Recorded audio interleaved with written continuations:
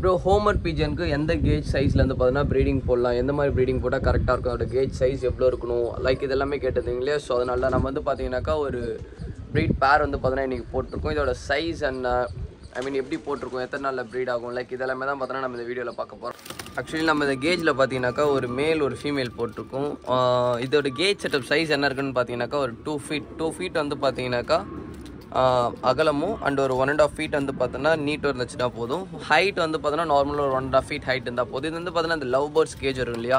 இதே வந்து பார்த்தீங்கன்னா ஒரு ஹோமர் ப்ரீடிங்க்கு வந்து பார்த்தோன்னா போதுமான சைஸ் இதுக்கு மேலேயும் நீங்கள் போகலாம் பட் இதுக்கு கீழே வராமல் பார்த்துக்கணும். ஆக்சுவலி இந்த சைஸில் பண்ணுறீங்க அப்படின்றப்போ ஹண்ட்ரட் பர்சன்ட் பேர்ட்ஸ் வந்து பார்த்தீங்கன்னா தெரியுது அவங்களுக்கு அதுங்க சுற்றி அதுங்க பேர் ஆகிறதுக்கும் பர்ஃபெக்டாக இருக்கும். இந்த சைட் ஃபுட் ஃபீட் பண்ணிவிட்டு அது சைடில் கொஞ்சம் வாட்டர் இல்லாட்டி இந்த சைடில் வாட்டர் வச்சிங்கனாக்கா கரெக்டாக இருக்கும். இந்த இடத்துல அவங்க ப்ரீட் ஆகிட்டு அந்த இடத்துல போயிட்டு அவங்க எக்லே பண்ணுறதுக்கு இன்றைக்கி தான் நம்ம இந்த பேர் வந்து ப்ரீட் போட்டிருக்கோம். ஆக்சுவலி இதுக்கு டே டு டே அப்டேட் வந்து பார்த்தீங்கன்னா நம்ம போக போக கொடுக்கலான்னு இருக்கோம். கண்டிப்பாக கொடுக்குறோம். அண்ட் தென் இந்த டாஸ்க்கும் கம்ப்ளீட் பண்ணியாச்சுன்னு நினைக்கிறேன். நீங்கள் வந்து ஏதாச்சும் ஒரு பேரை வந்து ப்ரீடிங் போட சொல்லியிருந்தீங்க. நானும் இந்த பேரை ரொம்ப நாளாக போடணும்னு நினச்சிட்டு இருந்தேன். ஸோ போட்டாச்சு. இந்த மேல் வந்து ஆல்ரெடி எல்லாருக்குமே தெரியும்னு நினைக்கிறேன். இந்த ஏஜ்டு ஒரு ஓல்டு லைன் சிக் ஒன்று எடுத்து நம்ம செத்து போயிடுச்சு இல்லையா? அந்த மேல் தான் சேம் ஃபீமேல் அதே சேம் லைனில் ஒரு சிக் எடுக்கலாம் அப்படின்னு சொல்லிட்டு தான் ரெண்டு பேரை போட்டிருக்கோம். இந்த பேர் எப்படி இருக்குன்ட்டு கமெண்ட் செக்ஷனில் லீவ் பண்ணுங்கள் பாய்